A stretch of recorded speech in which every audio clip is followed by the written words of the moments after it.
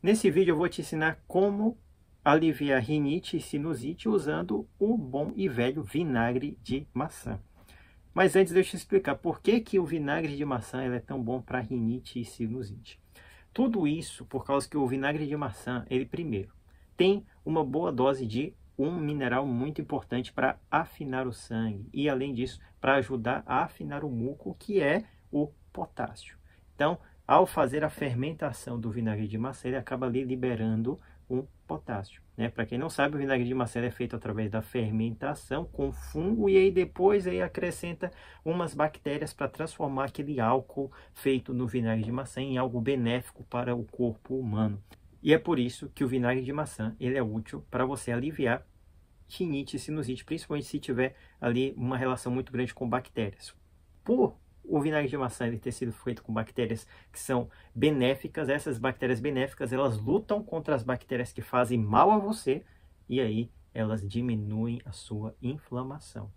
Então a acidez do vinagre de maçã vai ser muito bom para lutar contra a inflamação e também diminuir a quantidade de muco nas suas narinas. A primeira coisa que você pode fazer com vinagre de maçã, nós vamos fazer a receita daqui a pouco, tá? Mas a primeira coisa que você pode fazer com vinagre de maçã é eu tô até sentindo aqui o cheiro já. Cheirar ele. Chega, chegou e lacrimeja. Por quê? Porque essa leve irritação aqui, ó, tá soltando todo o muco. Eu não tenho muco nenhum, então talvez seja por isso que eu tô chorando mais aqui.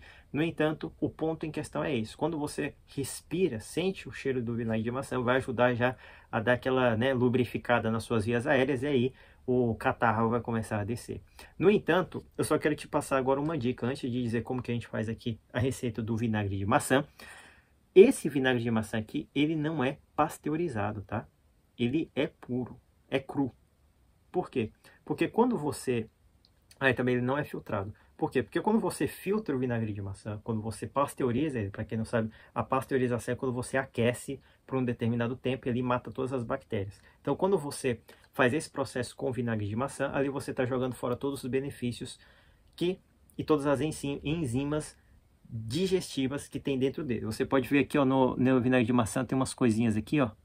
Né? Esse daqui tá só o pó da rabiola, mas dá para você entender aqui, ó que é esse daqui é conhecido como a mãe, a mãe do vinagre de maçã, tá? Quando você escutar o pessoal falando, ah, mãe, o vinagre de maçã tem a mãe, é porque a, mãe são as enzimas digestivas. Por isso que é importante você comprar o vinagre de maçã com as enzimas digestivas. Se você quiser que eu diga qual, onde comprei esse vinagre de maçã aqui, eu vou colocar o link aí embaixo, mas você pode comprar o vinagre de maçã que você quiser. Mas vamos voltar aqui ao ponto em questão, né? Você foi lá, cheirou vinagre de maçã, agora qual é o próximo passo aí para você acabar com essa inflamação em excesso do seu corpo. Você vai pegar aqui, ó, pode ser uma colher de chá.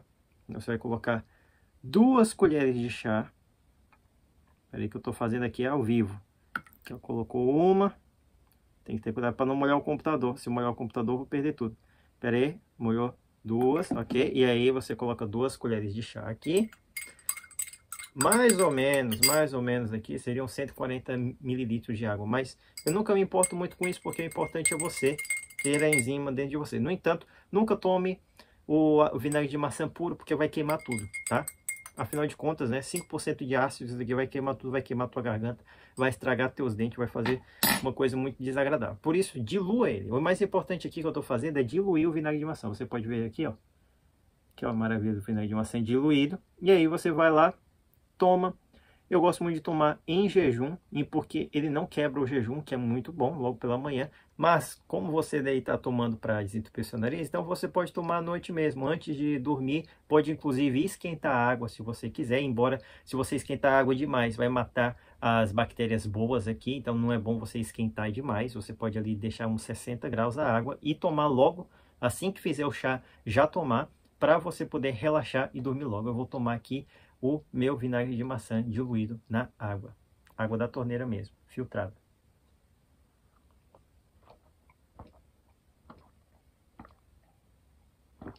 Tá aí. Tá tomado o vinagre de maçã. E para você que assistiu o vídeo até aqui, talvez você não tenha tempo agora de comprar o vinagre de maçã. Eu entendo isso. É por isso que aqui nesse vídeo especial você vai encontrar três dicas de como você pode acabar com a rinite e sinusite de forma natural. Beleza? Espero que você goste desse vídeo. Um forte abraço e até a próxima. Tchau!